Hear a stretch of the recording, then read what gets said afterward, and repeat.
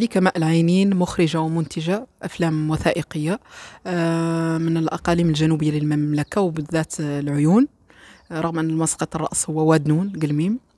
آه، وسعيدة بلقائي معكم في جميع لقاءاتي.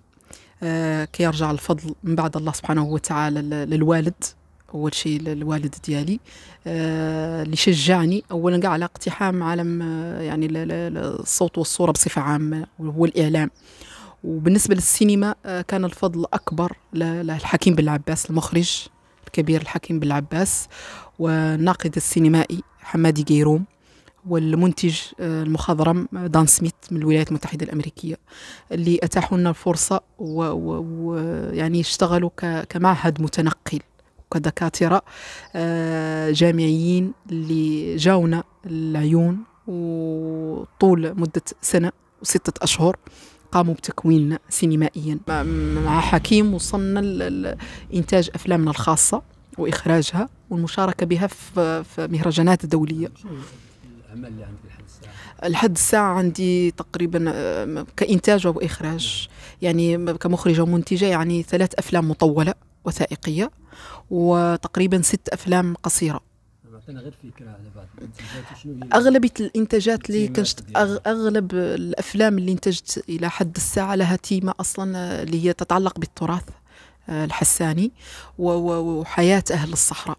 فكأفلام قصيرة كان آه، عندي الأمشقب الكل يعرف هو الهودج من الهودج. آه، من بعده فيلم عن الخيل سنابك الخيل يعني علاقة أهل الصحراء بالخيل. من بعد على فيلم آخر قمنا بإنتاجه. طبعا فيلمين بدعم من من المركز السينمائي المغربي اللي نوجه له شكر خاص آه، اللي اللي كان عنده فضل كبير خاصة في الأفلام الطويلة اللي كتعرفوا أنها تحتاج لدعم كبير آه، وأتاحت الفرصة للعديد من الشباب. يعني إحنا كمنتجين شباب نفسهم الأقاليم الجنوبية يعني تكونوا في هذه الأفلام واللي الحمد لله الآن أصبحت لديهم بطائق مهنية وبطائق مهنية ليست فقط بطاقة بدون موهبة أو بدون عم بالعكس شباب عندهم موهبة سواء من ناحية الإضاءة أو من ناحية السكريبت أو من ناحية يعني الصوت. فالحمد لله يعني المركز السينمائي كان له الفضل كبير في دعمنا. من السهل يعني اختيار المواضيع؟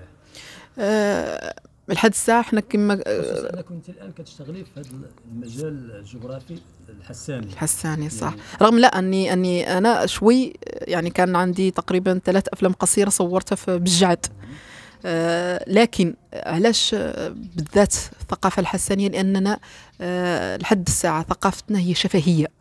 ومن خلال الأفلام نحاول نوثقوها ويكون توثيق لها اللي يعرفوه الأجيال يعرفوا تاريخهم يعرفوا ثقافتهم يحافظوا على تراثهم اللي كيف نعرفوا إحنا التراث الآن ماشي في نوع من الاندثار. فمن خلال هذه الأفلام كنحولوا كل ما هو شفهي لصوت وصورة.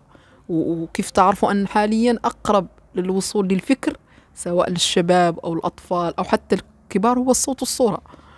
فمن خلال هذه الأفلام عندنا هي رسالة أكثر مما فقط العرض أو فقط تصوير. بصفة عامة في المجتمع العربي في المجتمع المغربي أن من البدايات دائما المرأة أي مجال كان الحكر على الرجال فاش كتجي تقتحموا كتلقى نوع من الضغوطات.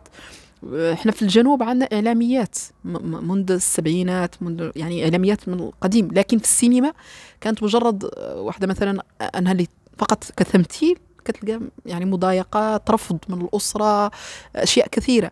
مؤخرا لا. يعني مؤخرا الحمد لله بدأ بدأت هاي الفكرة كتتغير ومن المسائل اللي, اللي كوني أول يعني مخرجة في السينما. آه، بالعكس لقيت نوع من الدعم. آه، حتى من الشباب يعني كتقنيين اللي كي, كي يشتغلوا معايا لا ما شاء الله بالعكس. يعني كيكون نوع من الانضباط كيكون نوع من من من, من حب المساعدة. وفي نفس الوقت كيحسوا بأني لست مراه فقط في في يعني ذيك المرأة اللي اللي ضعيفة لا لا. كيحسوا بيا يعني يعني قابضة بزمام الأمور. يعني من ناحية تحديد الوقت من ناحية الانضباط في ال ال يعني في داخل البلاطو من ناحية وكل أنهم سلسين في العمل معي كرسالة. نتمنى أنها توصل للمسؤولين هو أننا نفتقر للمعاهد. في كل ما يتعلق معاهد إعلامية معاهد سينمائية معاهد في المسرح. يعني كيف كنعرفوا بأن من الصعب أن خاصة الفتاة. وإلى يومنا هذا ما نكذبوا على ريوسنا نقولوا لا تغيرت الوقت. صعب أنها تسافر وتعيش في مكان بوحدها.